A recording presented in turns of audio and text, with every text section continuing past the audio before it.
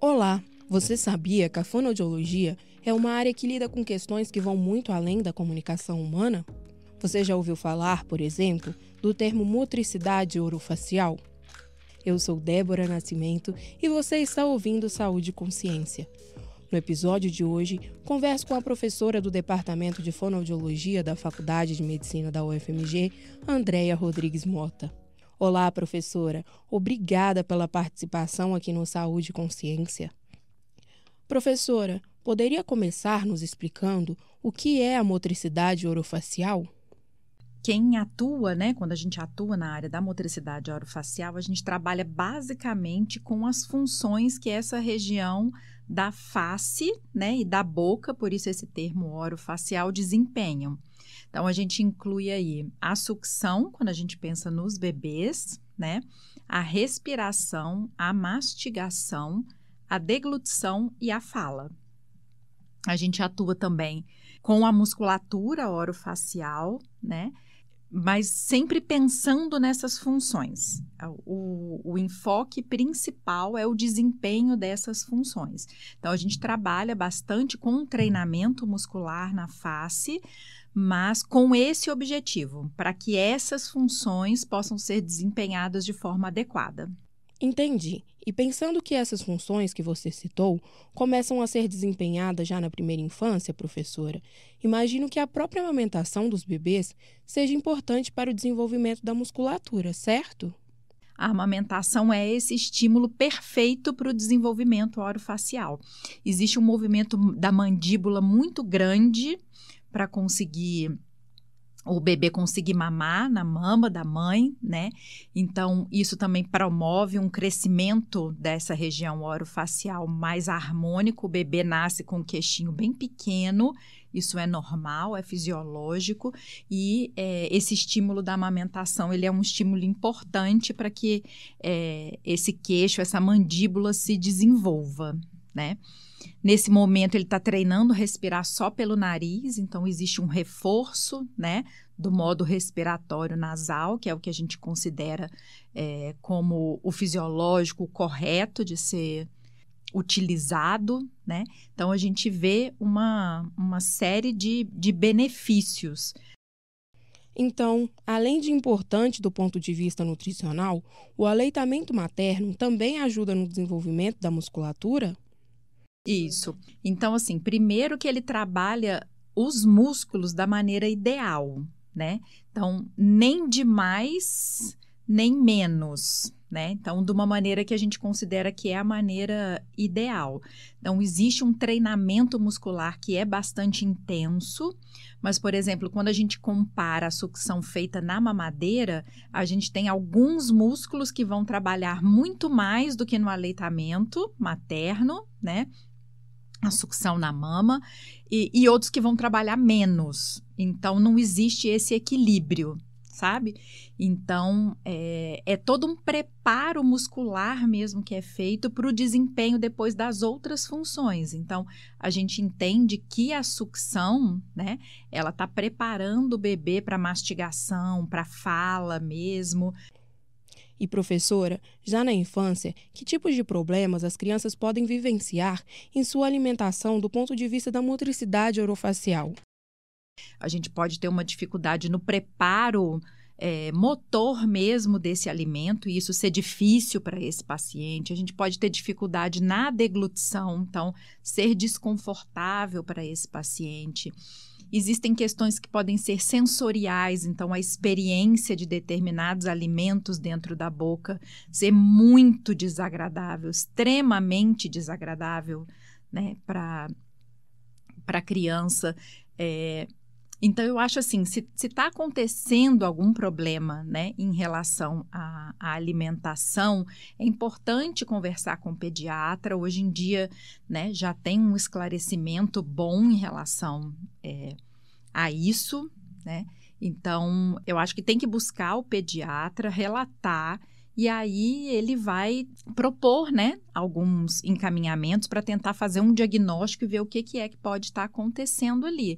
A gente pode ter crianças tentando exercitar, né, a sua autonomia, a sua autoridade, dizendo que não vai comer. Pode, isso pode acontecer, mas a gente não pode julgar, né, que todos estão fazendo isso é possível identificar sinais que os pais podem observar em seus filhos que indicam essas dificuldades alimentares?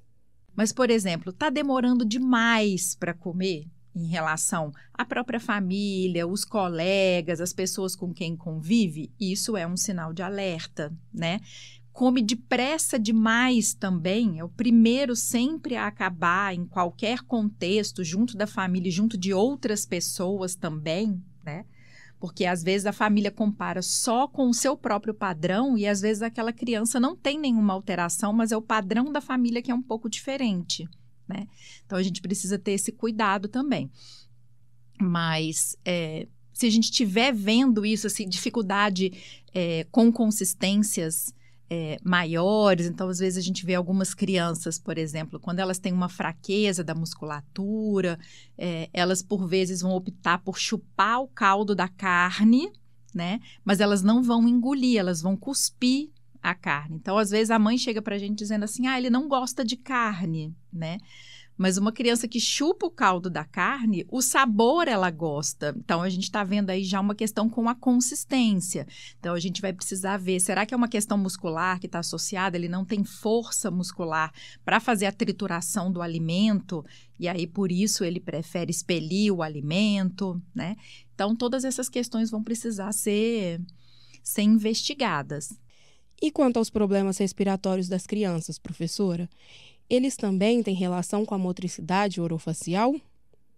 A respiração é mais fácil da família observar, porque a respiração tem que ser apenas pelo nariz. O tempo todo, a boquinha tem que estar tá fechada e a respiração tem que ser pelo nariz, né?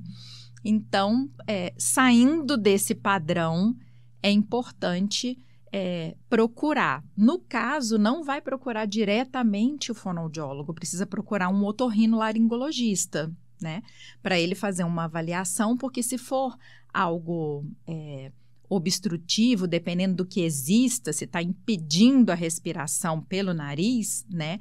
Ele vai precisar resolver com uma medicação, às vezes vai ser necessário uma cirurgia.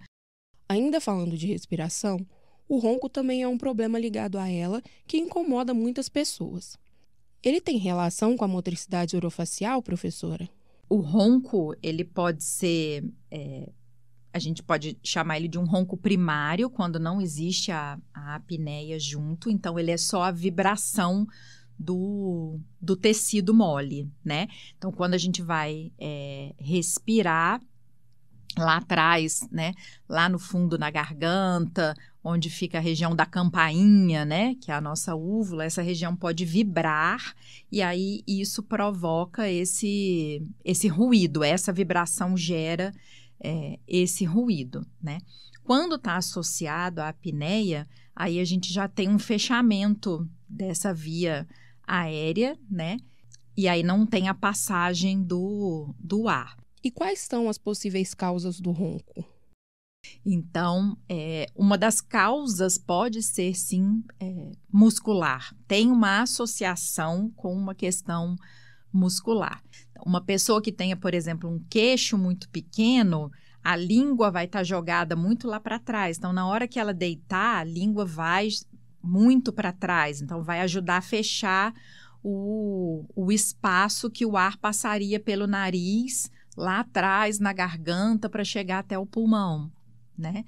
Então, é, existe essa questão muscular é, associada, sabe? É, agora, o próprio ronco também é, vai favorecendo. Então, conforme você vai tendo essa vibração dessa região, é como se você estivesse fazendo um relaxamento dessa região. Então, ele vai deixando mais, é, mais fraco. Né? Então, por isso que a gente precisa muitas vezes de uma intervenção muscular associada a outros tratamentos.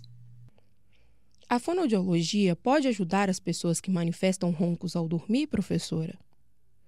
A fonoaudiologia, por ter essa intervenção muito associada à questão da musculatura dessa região orofacial, né? Ela tem essa intervenção de fortalecer esses músculos que muitas vezes estão fracos, estão flácidos, né? E aí, ou promovem só a vibração, no caso do ronco, ou às vezes chegam a fechar esse espaço, eles chegam a cair, a gente chama de colabar, né? E aí chegam a fechar esse espaço da passagem do ar. A motricidade orofacial tem relação com outras especialidades além da fonoaudiologia? Existem muitos problemas da motricidade orofacial que, na verdade, decorrem de alterações ortodônticas, por exemplo, de questões odontológicas.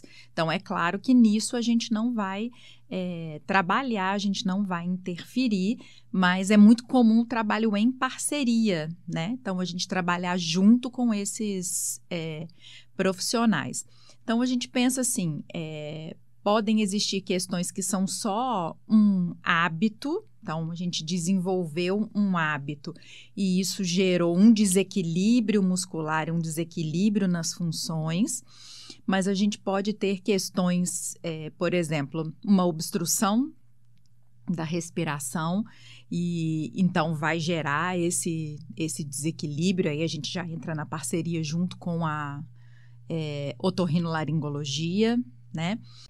Por se tratar da musculatura da face como um todo, a motricidade também tem influência na estética facial? No caso da estética também, a gente pode trabalhar junto com cirurgiões plásticos, com dermatologistas, né? Então a gente vê muitas vezes as pessoas têm uma hipermímica na hora que elas conversam, então às vezes elas elevam muito a sobrancelha e isso faz criar rugas na testa, né? Então às vezes elas têm algum trejeito na fala, faz algum tique na fala e isso vai sulcando a pele, né? A gente vê muitas pessoas que na hora de engolir, às vezes é a própria saliva, elas fazem muita contração em volta da boca e aí isso então vai criando esse sulco que as pessoas chamam, né, de bigode chinês, vai aprofundando esse sulco. Então, às vezes a gente vê pessoas jovens de 20 e poucos anos com um sulco muito marcado. Muitas vezes isso está associado a uma alteração na deglutição. Então, é muito nessa vertente que a fonoaudiologia trabalha junto com, com a estética. E professora, já me disseram antes que a fonoaudiologia pode ajudar também os pacientes que realizaram cirurgias bariátricas. De que forma essa ajuda acontece? Então, existem diversas outras é, questões que o fonoaudiólogo trabalha também. Então, por exemplo, nos casos de acompanhamento de pacientes pós-cirurgia, não só pós, a gente pega eles no pré também, cirurgia bariátrica, por exemplo, né? Então, é, é comum a gente atender esses pacientes e a gente tem um, um resultado muito bom, porque não adianta só a gente orientar a pessoa como ela deve fazer, a gente precisa treinar junto com ela, a gente precisa ver como que ela faz para poder corrigir o que ela faz e fazer, mostrar para ela qual que é a maneira é, correta de, de conseguir mastigar aquele alimento. Então, a gente já tem evidência de que a gente vai ter menos ocorrência de vômito, por exemplo, né? Então, de algumas queixas que estão associadas a essas questões da, da cirurgia bariátrica, né? Agradeço novamente a participação da professora Andréa Mota. O podcast Saúde e Consciência desta edição fica por aqui, mas não deixe de participar com a gente por meio de comentários, dúvidas e sugestões que podem ser encaminhadas para o nosso WhatsApp. O número é 031 98576 0326. Siga também o Saúde e Consciência no seu agregador de podcast favorito e ative as notificações para ficar por dentro de tudo o que postamos. Esta é uma produção do Centro de Comunicação Social da Faculdade de Medicina da UFMG. E esse episódio foi realizado por Alexandre Bueno e Madu Mendonça. Eu sou Débora Nascimento e informação é saúde. Até a próxima!